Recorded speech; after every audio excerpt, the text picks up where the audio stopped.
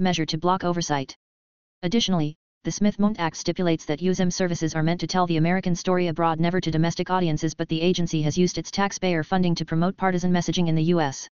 One of the most egregious examples was when, in 2020, it bought ads on its foreign language social media sites to disseminate a Biden campaign ad and targeted it to a major Muslim population in Michigan. 42 Moreover, VOA often airs foreign adversaries' propaganda, which is antithetical to its congressionally mandated core mission. State Department oversight or command may be one way to ensure that VOA and the rest of the USIM returns and adheres to its original mission. Clear lines of command and communications between the USIM and an appropriate office of the National Security Council are also sorely lacking, as has been any reasonable accountability for USIM senior leadership and strategy. The State Department's Assistant Secretary for Global Public Affairs and Undersecretary for Diplomacy and Public Affairs should also be in the accountability loop for agency actions. While the U.S. Secretary of State technically has a seat on the board of the agency, it is a toothless seat that is often deferred to the Undersecretary and slash or Assistant Secretaries noted above. This position should be relevant and directive when U.S. foreign policy and strategic communications are at stake. For example, the years-long delay in confirming the Trump-appointed CEO left disastrous holdover leadership from the previous administration. Employing effective leadership, even in an acting capacity, while a new CEO is awaiting Senate confirmation is necessary to prevent a repeat of this behavior. L. Congress. The USM receives its budget and mandates directly from Congress. Often, changes in major functions at the agency happen because of the lobbying efforts of a few connected individuals often grantees lobbying for more funds and less accountability. Those changes can and do handcuff leadership from any meaningful oversight. An overhaul of the agency with review from Congress to modernize, streamline, and reduce waste must be done with congressional support.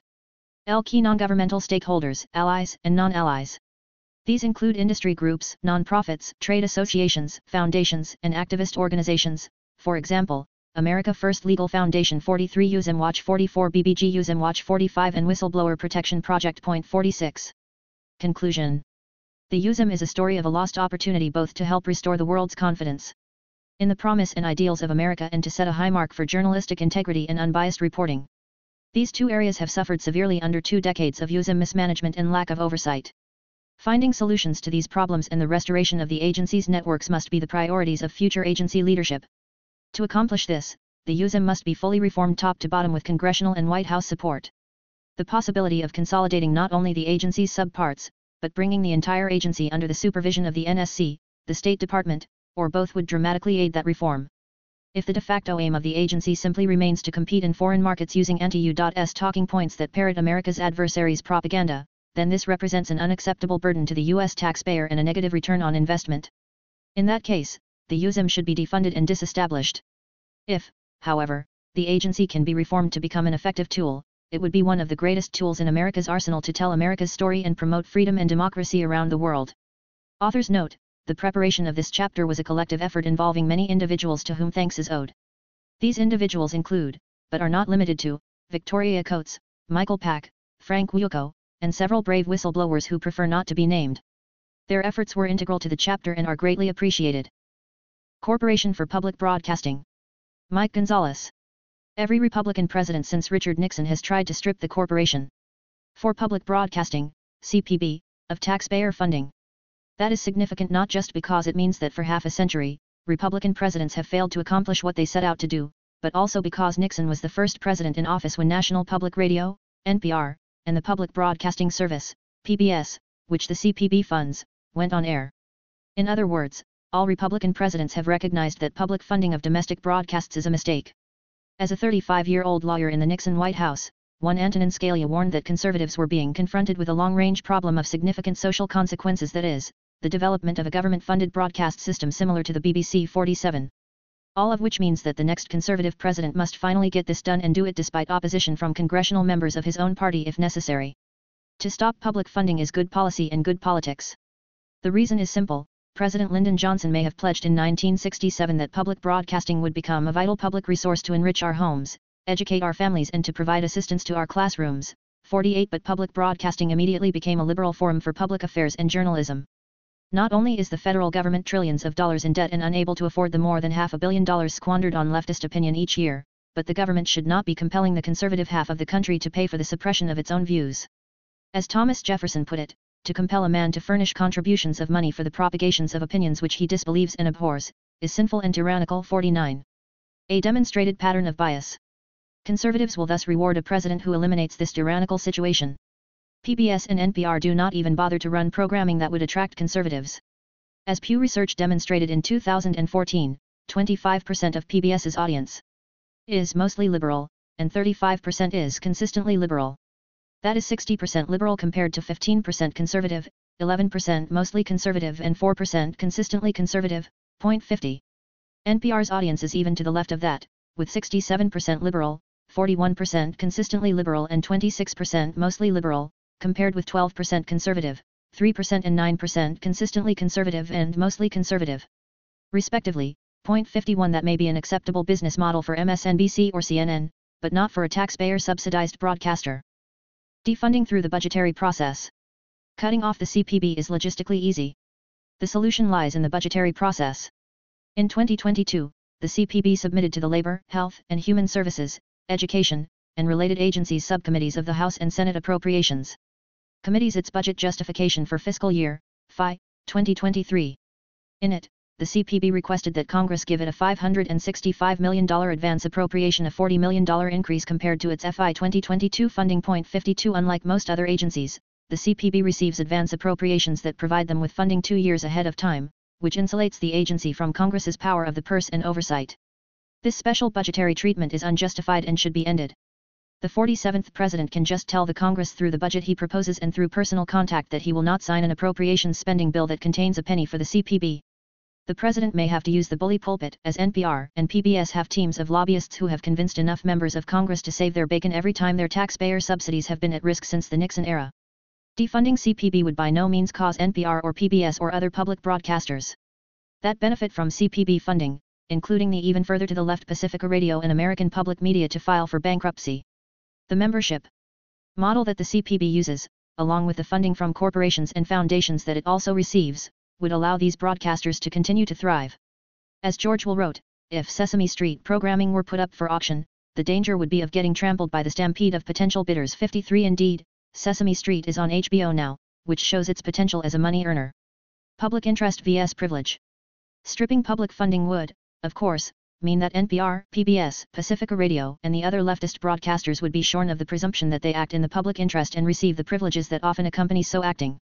They should no longer, for example, be qualified as non-commercial education stations. NCE stations, which they clearly no longer are. NPR, Pacifica, and the other radio ventures have zero claim on an educational function, the original purpose for which they were created by President Johnson, and the percentage of on-air programming that PBS devotes to educational endeavors such as Sesame Street, programs that are themselves biased to the left, is small. Being an NCE comes with benefits. The Federal Communications Commission, for example, reserves the 20 stations at the lower end of the radio frequency, between 88 and 108 MHz on the FM band, for NCEs. The FCC says that only non-commercial educational radio stations are licensed in the 88-92 MHz reserved band, while both commercial and non-commercial educational stations may operate in the non-reserved band. Point 54 This confers advantages, as lower frequency stations can be heard farther away and are easier to find as they lie on the left end of the radio dial, figuratively as well as ideologically. The FCC also exempts NCE stations from licensing fees. It says that non-commercial, educational, NCE, FM station licensees and full-service NCE television broadcast station licensees are exempt from paying regulatory fees, provided that these stations operate solely on an NCE basis. 55. NPR and PBS stations are in reality no longer non-commercial, as they run ads in everything but name for their sponsors. They are also non-educational. The next president should instruct the FCC to exclude the stations affiliated with PBS and NPR from the NCE denomination and the privileges that come with it. End notes. One U.S. Agency for Global Media, https slash slash slash, accessed March 20, 2023. 2 Ben Weingarten, Security Failures USG Media Agency Prove Need to Hire Americans First, Newsweek, August 10, 2020, https slash slash www.newsweek.com slash security failures USG Media Agency Prove Need Hire Americans First Opinion 1523895, accessed March 20, 2023. 3 U.S. Agency for Global Media, Who We Are, https slash slash www.usm.gov slash who we are slash history slash, accessed March 20, 2023. 4 U.S. Agency for Global Media, Voice of America, https slash slash www.usm.gov slash networks slash voa slash, accessed March 20, 2023. 5. Daniel Lippman, deleted Biden video sets off a crisis at Voice of America, Politico July 30, 2020, https slash slash www.politico.com slash news slash 2020 slash 07 slash 30 slash deleted Biden video sets off a crisis at Voice of America 388571, accessed March 20, 2023. 6. U.S. Agency for Global Media, Office of Cuba Broadcasting, https slash slash www.usm.gov slash networks slash ocb slash, accessed March 20, 2023. 7. Rafael Bernal, bipartisan group asks Office of Cuba Broadcasting to rescind layoffs, September 13, 2022, The Hill, https slash slash thehill.com slash latino slash 3641445 bipartisan group asks Office of Cuba Broadcasting to rescind layoffs slash, accessed March 20, 2023. 8 U.S. Agency for Global Media, Middle East Broadcasting Networks, https slash slash www.usm.gov slash networks slash mbn slash, accessed March 20, 2023. 9 U.S. Agency for Global Media, Consolidation Report, P13, https slash slash docs.house.gov slash meetings slash fa slash fa 00 slash 2021090 slash 114085 slash hmkp 117 fa 00 dash 2021090 sd002.pdf, accessed March 22, 2023. 10 U.S. Agency for Global Media, Radio Free Asia, https slash slash www.usm.gov slash networks slash slash, accessed March 20, 2023. 11 U.S. Department of State and the Broadcasting Board of Governors, Office of the Inspector General, Audit of Radio Free Asia Expenditures, June 2015, https slash slash www.stadioid.gov slash upload slash report slash report underscore pdf underscore file slash audfmib 15-24 underscore 1.pdf, accessed March 22, 2023. 12 IBID. 13 IBID, P16. 14 Susan Crabtree, lacks Internet Freedom Group box at New Pack Oversight, https slash slash www.ilclearpolitics.com slash article slash 2020 slash 08 slash 24 slash lax underscore internet underscore freedom underscore group underscore box underscore at underscore new underscore pack underscore oversight underscore 144043.html, accessed March 22, 2023. 15 IBID. 16 IBID. 17 Nomination of Michael Pack to the Broadcasting Board of Governors, 116th CONG, Second Session, 2020, https slash slash www.congress.gov slash nomination slash 116th Congress slash 1590, accessed March 20, 2023. 18 James Robbins, More Rod at America's Public Diplomacy Mouthpiece, The Hill, November 7, 2020, https slash slash thehill.com slash opinion slash national security slash 524924 More Rod at America's Public Diplomacy Mouthpiece slash, accessed March 20, 2023. 19 U.S. Office of Personnel Management, Suitability Agency Executive Programs, Follow-up Review of U.S. Agency for Global Media, July 2020, https slash slash beepwatch.com slash wp content slash upload slash 2020 slash 08 slash opm suit ea July 2020.pdf, accessed March 20, 203. 20 If the agency were not an extension of U.S. foreign policy and national security goals, then its staffing positions would not be classified in their entirety as Tier 3 and Tier 5 national security sensitive positions, which they are. See U.S. Agency for Global Media, Consolidation Report, P13. 21 Federal Register, Volume 85, Number 115, June 15, 2020, pages 36100 and 50 36153. 22 U.S. Information and Educational Exchange Act of 1948, Smith-Mundt Act, Public Law 8402.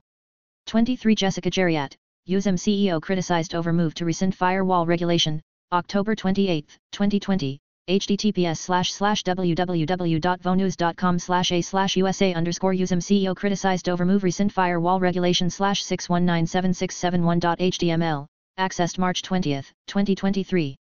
24 Byron York, America's Lost Voice, Washington Examiner, February 4, 2021, https slash slash www.washingtonexaminer.com slash politics slash America's Lost Voice, accessed March 20, 2023. 25 Sasha Gong, VOA Problems, Racism, Xenophobia, Mediocrity, and Nepotism, BBG USM Watch, December 25, 2018, archived at https slash slash web.archive.org slash web slash 202201051013000 slash https slash slash beepwatch.com slash beepwatch slash voa problems racism xenophobia mediocrity and nepotism slash accessed March 20, 2023. 26 U.S. Agency for Global Media Watch, Big Mistake in Rewarding Failed Voice of America, VOA, Managers U.S. Agency for Global Media Managers, November 11, 2022, https slash slash www.usagewatch.com slash big mistake in rewarding failed voice of America VOA and U.S. Agency for Global Media USM Managers slash, accessed March 20, 2023.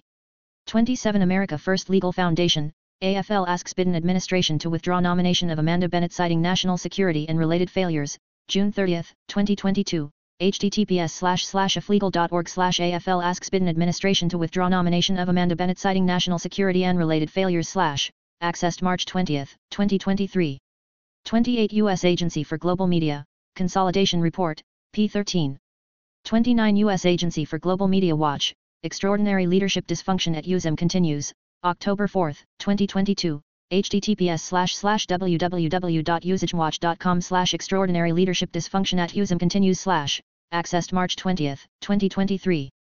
30 U.S. Office of Personnel Management, follow-up review of the U.S. Agency for Global Media Suitability Program. 31 IBID. 32 U.S. Agency for Global Media, Consolidation Report, P13. 33 U.S. Office of Personnel Management, follow-up review of the U.S. Agency for Global Media Suitability Program. 34 Robbins, more Rod at America's Public Diplomacy Mouthpiece.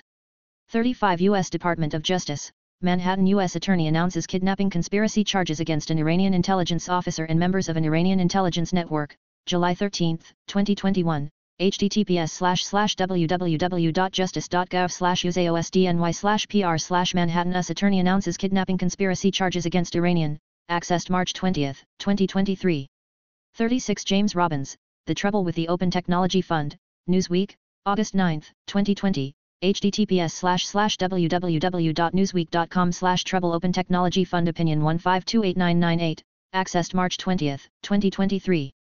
37 Susan Crabtree, lacks Internet Freedom Group box at New Pack Oversight, Real Clear Politics, August 24, 2020, https slash slash www.ilclearpolitics.com slash article slash 2020 slash 08 slash 24 slash lax underscore internet underscore freedom underscore group underscore box underscore at underscore new underscore pack underscore oversight underscore 144043.html, accessed March 20, 2023. 38 U.S. Department of State, visas for members of the foreign media, press, and radio, https slash slash travel.state.gov slash content slash travel slash n slash us visas slash employment slash visas members foreign media press radio.html, accessed March 20, 2023. 39 authorized positions for J1 visas include, au pair, camp counselor, college slash university student, government visitor, intern, international visitor, physician, professor, research scholar, secondary school student, short-term scholar, specialist, STEM initiatives, summer work travel, teacher, and trainee. See U.S. Department of State, Exchange Visitor Visa, https slash slash travel.state.gov slash content slash travel slash n slash us visa slash study slash exchange.html, accessed March 20, 2023. 40 News Release, McCaul demands answers on USM personnel and management, Foreign Affairs Committee, October 28, 2021, https slash slash foreignaffairs.house.gov slash press release slash McCaul demands answers on USM personnel and management slash, accessed March 20, 2023. 41 U.S. Agency for Global Media Watch, USM, past leaders ignored national security procedures, failed to adequately vet staff, August 8, 2020, https slash slash www.usagewatch.com slash USM past agency leaders ignored national security procedures failed to adequately vet staff slash, accessed March 20, 2023. 42 U.S. Agency for Global Media, CEO Pack launches investigation into pro-Biden VOA content, U.S. election interference, July 30, 2020, https slash slash www.usm.gov slash 2020 slash 07 slash 30 slash CEO Pack launches investigation into pro-Biden VOA content U.S. election interference slash, accessed March 22, 2023. 43 America First Legal Foundation, AFL asks Biden administration to withdraw nomination of Amanda Bennett citing national security and related failures, June 30, 2022, https slash slash aflegal.org slash AFL asks Biden administration to withdraw nomination of Amanda Bennett citing national security and related failures slash, accessed March 20, 2023. 44 U.S. Agency for Global Media Watch, https slash slash www.usagewatch.com slash, accessed March 20, 2023. 45 BBG USAM Watch, https slash slash beepwatch.com slash beepwatch slash, accessed March 20, 2023. 46 Whistleblower Protection Project, Congress releases long-awaited investigative report on chronically mismanaged USIM, February 9, 2022, https slash slash whipproj.org slash Congress releases long-awaited USIM investigative report revealing agency's chronic mismanagement slash, accessed March 20, 2023. 47 National Telecommunications and Information Administration, Nixon Administration Public Broadcasting Papers, Summary of 1971, February 23, 1979, https slash slash current.org slash 1979 slash 02 slash Nixon Administration Public Broadcasting Papers Summary of 1971 slash, accessed March 21, 2023. 48 President Lyndon B. Johnson, State of the Union Address, January 10, 1967, https slash slash www.infoplease.com slash primary sources slash government slash presidential speeches slash state union address Lyndon B. Johnson January 10-1967, accessed March 21, 2023. 49 Joyce Appleby and Terence Ball, eds, Jefferson, Political Writings, Cambridge and New York, Cambridge University Press, 1999, p. 390. 50 Pew Research Center, where news audiences fit on the political spectrum, October 21, 2014, http slash slash www.journalism.org slash interactive slash media hyphen polarization slash outlet slash pbs, accessed March 21, 2023. 51 IBID. 52 Corporation for Public Broadcasting, Corporation for Public Broadcasting Appropriation Request and Justification FI 2023 FI 2025, submitted to the Labor, Health and Human Services, Education and Related Agencies Subcommittee of the House Appropriations Committee and the Labor, Health and Human Services, Education and Related Agencies Subcommittee of the Senate Appropriations Committee, March 28, 2022, p2, https slash slash www.cpb.org slash sites slash default slash files slash appropriation slash FI 2023-2025 CPB budget. Justification.pdf, accessed March 21, 2023. 53 George F.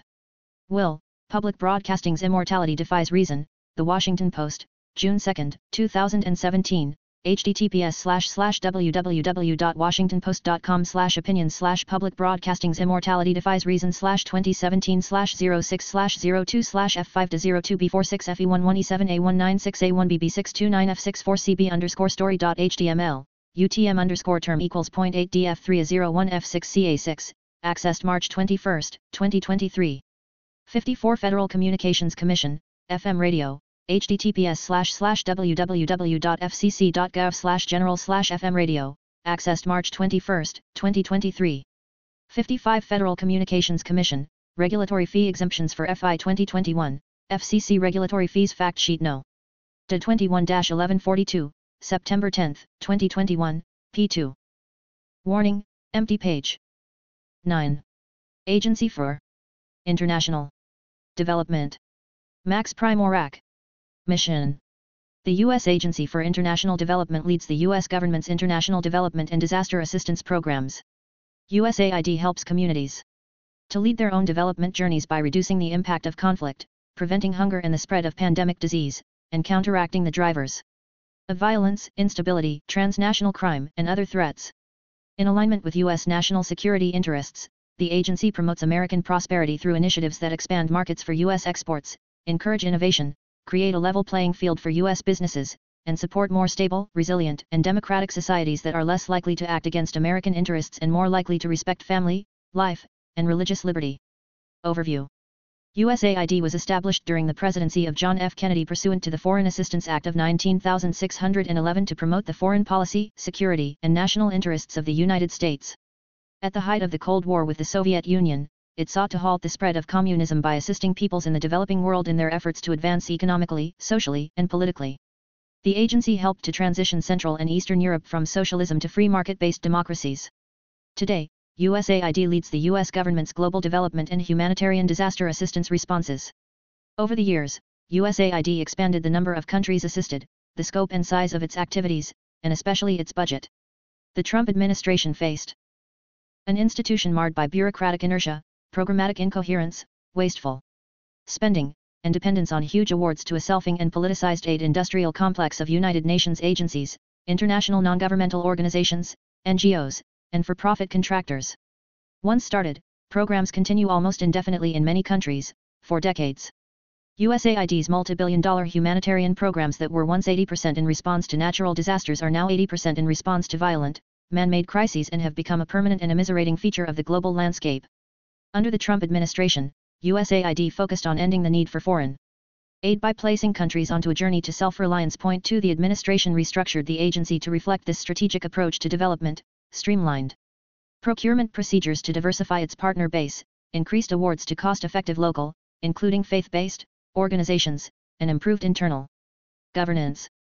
It instituted pro-life and family-friendly policies. It promoted international religious freedom as a pillar of the agency's work and built up an unprecedented genocide response infrastructure. The Biden administration has deformed the agency by treating it as a global platform to pursue overseas a divisive political and cultural agenda that promotes abortion, climate extremism, gender radicalism, and interventions against perceived systemic racism. It has dispensed with decades of bipartisan consensus on foreign aid and pursued policies that contravene basic American values and have antagonized our partners in Asia, Africa, and Latin America. It has decoupled U.S. assistance from free market reforms that are the keystone of economic and political stability and has teamed with global institutions to impose central planning diktats on an unprecedented scale. Wasteful budget increases requested by the administration and appropriated by Congress have outstripped USAID's capacity to spend funds responsibly, and U.S. foreign aid has been transformed into a massive and open-ended global entitlement program captured by and enriching the progressive left. The next conservative administration should scale back USAID's global footprint. By, at a minimum, returning to the agency's 2019 pre-COVID-19 pandemic budget level. It should de-radicalize USAID's programs and structures and build on the conservative reforms instituted by the Trump administration. This will require working closely with the U.S. Congress to make deep cuts in the international Affairs 150 account while granting USAID greater flexibility in spending its appropriated funds to achieve better developmental outcomes. Key issues Aligning U.S. foreign aid to U.S. foreign policy. U.S. foreign aid is too often disconnected from the strategy and practice of U.S. foreign policy. Its coordination is made difficult as the aid budget is divided among approximately 20 offices, agencies, and departments that provide some form of foreign assistance. The USAID administrator should be authorized to take on the additional role of Director of Foreign Assistance, DFA, with the rank of Deputy Secretary at the Department of State in charge of all U.S. foreign assistance. The DFA role would empower this person to align and coordinate the countless foreign assistance programs across the U.S. government and carry out the agenda of the next conservative president more effectively. A version of this role existed during the last two years of the George W. Bush administration, but the Obama administration eliminated it in 2009. Countering China's development challenge. Through its Trillion Dollar Belt and Road Initiative, BRI, the People's Republic of China, PRC, has directed billions of dollars in loans and investments to advance its geostrategic objective of displacing the United States as the premier global power. The PRC leverages its transactions termed debt traps by many critics to strengthen its global influence, extract natural resources, isolate Taiwan, win political support at international fora, and access ports and bases for its military. In Latin America, 25 of 29 countries participate in the BRI, and the PRC ranks as the region's largest trading partner. Since 2005, Chinese state-owned banks have issued $138 billion in loans to Latin American countries, and other Chinese entities have invested an additional $140 billion. In Africa, China has issued $160 billion in loans and dominates the continent's rare earth mining sector, which is critical to global energy development. The World Bank estimates that 60% of all BRI loans are in financial distress, leading many countries to seek emergency financial help from Western donors. Chinese-funded projects are known for employing substandard labor and environmental practices, fueling corruption, promoting wasteful financial decisions by governments, advancing China's geostrategic interests, and creating an unequal trade relationship in which China secures raw materials from developing countries and sells those countries' manufacturing products. For example, Brazil, a world leader in shoe production, saw its industry collapse under a flood of cheap Chinese imports. China's mercantilist penetration of the developing world and the negative consequences for developing countries' healthy economic growth have undercut U.S. strategic relationships in those countries and wasted billions in U.S. foreign aid. During the Trump administration, USAID L inaugurated a robust counter-China response called Clear Choice 3 that contrasted America's development approach based on liberty, sovereignty, and free markets with China's mercantilist authoritarianism that pursued predatory financing schemes and economic and political subordination to Beijing. L launched its first digital strategy for to promote safe 5G access in emerging markets and combat Beijing's efforts to equip regimes with tools to stifle democracy. L struck bilateral development relationships with Japan, Israel, Kuwait, Qatar, the United Arab Emirates, and Taiwan to support projects in sub-Saharan Africa, Asia, Latin America, and the Middle East. L established an office in Greenland to help counter China's claims of being a near-Arctic state and reoriented its programming across Asia including establishing a USAID mission to Central Asia in line with America's Indo-Pacific Strategy. Point 5. L joined with the U.S. Department of Homeland Security and National Oceanic and Atmospheric Administration to help coastal countries detect and halt illegal, unreported, and unregulated fishing and confront criminal activities practiced by state-run Chinese fishing fleets that violate international norms, ravage fishing industries in developing countries, worsen food insecurity, rob vulnerable communities of their livelihoods, and deplete maritime resources. USAID built an organizational infrastructure to carry out its multiple lines of counter-China operations. An agency-wide Clear Choice Executive Council and USAID U.S. International Development Finance Corporation Working Group reviewed all proposed assistance programs and proposals through a counter-China lens. A senior executive-level Clear Choice coordinator, reporting to the administrator, advised the agency's leadership on initiatives to counter China, supported by a fully dedicated six-person secretariat the Biden administration discontinued these programs and allowed USAID's counter-China architecture to waste away, subordinating our national security interests to progressive climate politics in which communist China is viewed as a global partner. The next conservative administration should restore and build on the Trump administration's counter-China infrastructure at USAID, and the climate policy fanaticism that advantages Beijing, and assess bilateral aid through the lens of U.S. national security interests, rewarding those countries that resist China's debt diplomacy. It should finance programs designed to counter specific Chinese efforts in strategically important countries and eliminate funding to any partner that engages with Chinese entities directly or indirectly. USAID's Bangkok-based regional development mission for Asia should focus its strategic attention on supporting cross-border initiatives designed to counter Chinese influence. Climate change. Upon taking office, President Biden issued executive orders to put the climate crisis at the center of U.S. foreign policy and national security and mitigate the devastating inequalities that intersect with gender, race, ethnicity, and economic security. 6. USAID subsequently declared itself a climate agency and redirected its private sector engagement strategy teaming with America's corporate sector to wean countries off foreign aid through private investment and trade to support the administration's global policy to transition from fossil fuels to renewable energy. The administration has incorporated its radical climate policy into every USAID initiative. It has joined or funded international partnerships dedicated to advancing the aims of the Paris Climate Agreement and has supported the idea of giving trillions of dollars more in aid transfers for climate reparations. The Biden administration's extreme climate policies have worsened global food insecurity and hunger. Its anti-fossil fuel agenda has led to a sharp spike in global energy prices.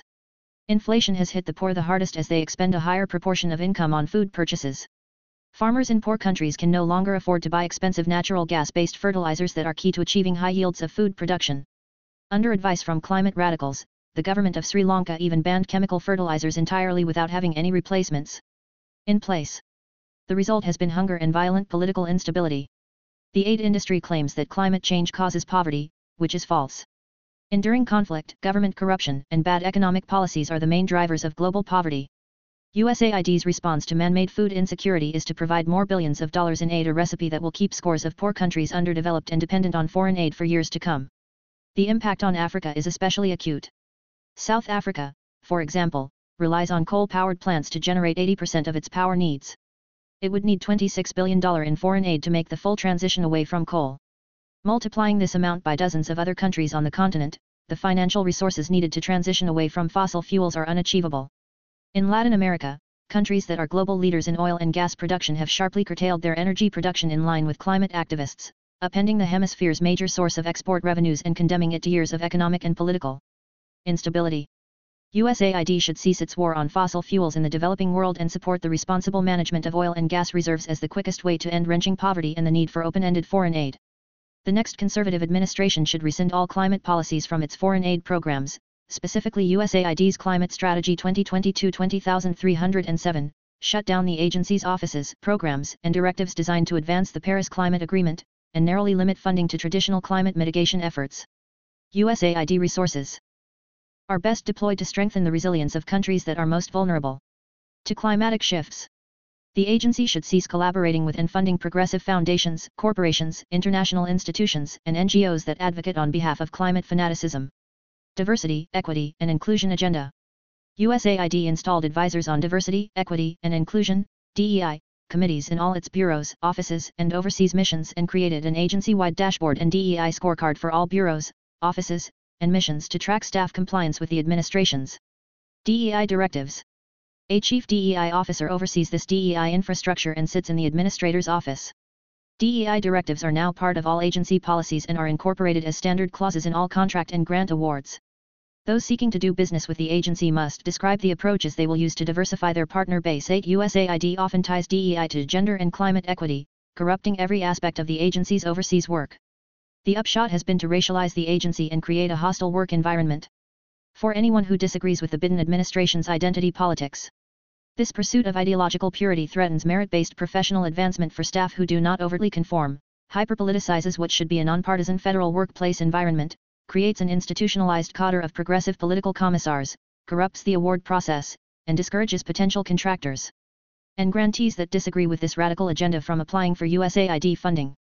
The next conservative administration should dismantle USAID's DEI apparatus by eliminating the Chief Diversity Officer position along with the DEI advisors and committees, cancel the DEI scorecard and dashboard, remove DEI requirements from contract and grant tenders and awards, issue a directive to cease promotion of the DEI agenda, including the bullying LGBTQ and agenda, and provide staff a confidential medium through which to adjudicate cases of political retaliation that agency or implementing staff suffered during the Biden administration. It should eliminate funding for partners that promote discriminatory DEI practices and consider debarment in egregious cases. As federal departments and agencies cannot play partisan politics, staff irrespective of hiring mechanism as well as implementers and grantees that engage in ideological agitation on behalf of the DEI agenda should be dismissed, and entities should be debarred. The next conservative administration should return the authority over all civil rights issues at USAID to the agency's Office of Civil Rights, which is the appropriate locus for ensuring that all Americans have guaranteed